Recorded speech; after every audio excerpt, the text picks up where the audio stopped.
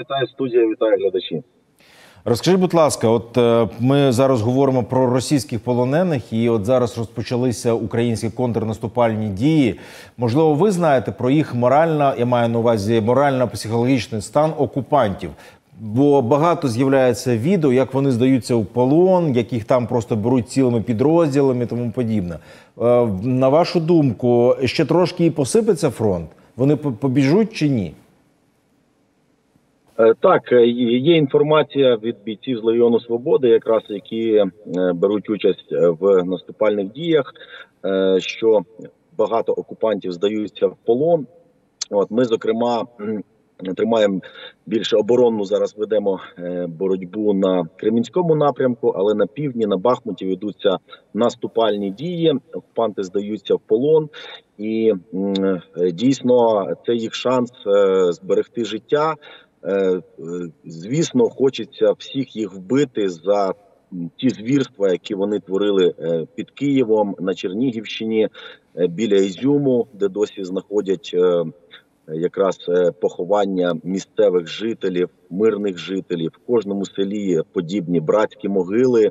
Це тільки те, що зараз на слуху, це Буча, Ізюм. От але е, е, обов'язково е, всі будуть притягнуті до відповідальності, хто брав участь у цих от ем, злочинах. Це абсолютно аморальні істоти, але нам треба повернути з- з е, полону наших хлопців. Тому дуже важливо, щоб ці окупанти були взяті в полон, і щоб якомога більше наших хлопців повернулись. Настрої у них е, дійсно е, такі досить панічні. Їх женуть на убій, на м'ясо.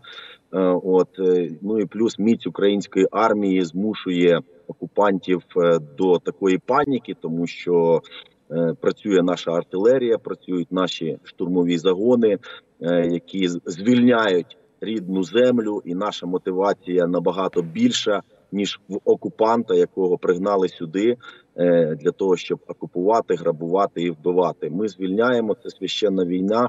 Ми звільняємо нашу землю. От і ну е, але з іншого боку, не ну ми повинні розуміти, що величезна країна.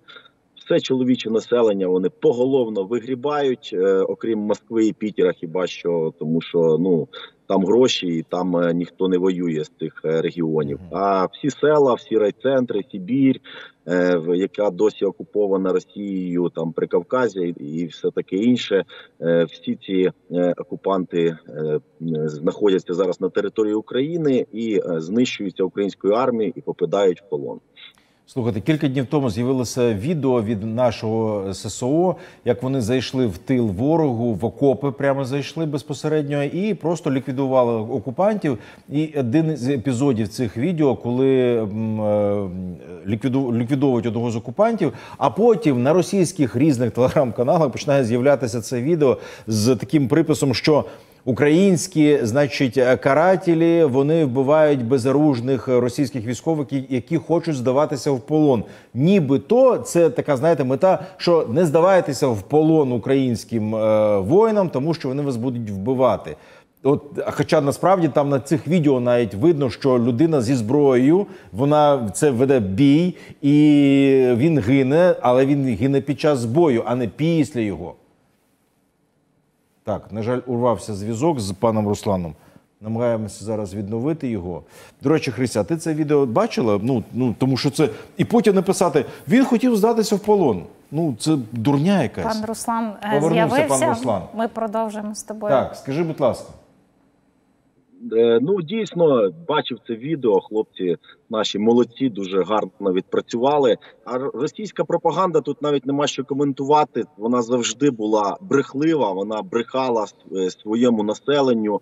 е, Про і про втрати, і про те, що тут будуть встрічати їхню армію хлібом, солью. От ну і відповідно за це поплатилась, коли вони були відігнані від Києва, коли була оця ізюмська так. лиманська офенсива. От е, ну і нам, звісно, не треба недооцінювати противника, але ніколи не вірити російській пропаганді, тому що ну це суцільна брехня.